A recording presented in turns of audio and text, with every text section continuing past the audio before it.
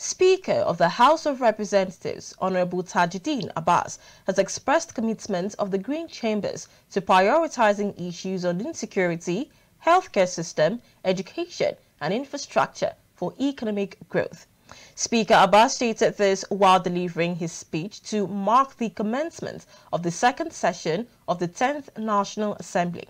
The Speaker stressed the need to strengthen institutions and enhance legislative processes and foster greater collaboration with civil society.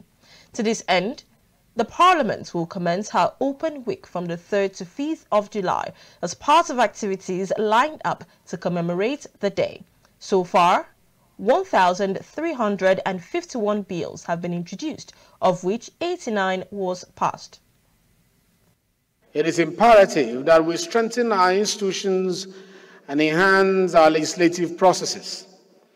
We must invest in capacity building for legislators and staff, improve our data collection and analysis capabilities, and foster greater collaboration with civil society and private sector. Transparency, accountability, and public participation must remain the cornerstone of our legislative agenda.